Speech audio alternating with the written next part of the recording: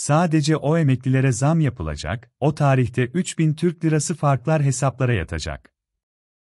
Yaklaşık 2 milyon emekliye 3000 Türk Lirası ek zam müjdesi geldi.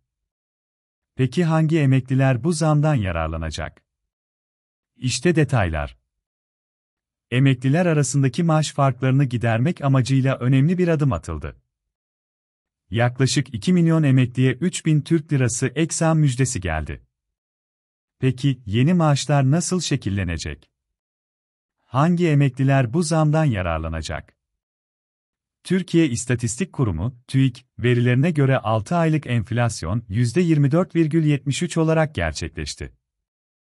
Böylece emeklilerin alacağı zam %24,73 oldu. Mi memur ve memur emeklisinin zammı da %19,30 olarak hesaplandı. Sosyal Sigortalar Kurumu ve Bağkur emeklileri, aldıkları %24-73'lük zammı yeterli bulmazken, memur emeklileri ise sadece %19 zam almaları nedeniyle hükümete tepkili. Ayrıca, en düşük emekli maaşına yapılan ek zamdan da faydalanamadılar. Memur emeklileri, maaşlarına yapılacak yaklaşık 3000 TL'lik ek zam için gün sayıyor. Kulislerden gelen bilgilere göre, memur emeklileri arasındaki adaletsizliği gidermek için çalışmalar başlatıldı. Yaklaşık 3000 TL'ye kadar maaş farkı yaratacak olan bu düzenleme, seyyanen zam olarak değil, %10'luk bir artış şeklinde uygulanacak.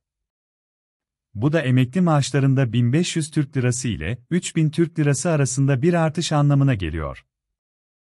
SGK uzmanlarına göre, memur emeklilerinin yeni maaşları en geç Eylül ayında hesaplarına yatırılacak. Gözler şimdi hükümetin atacağı adımlarda.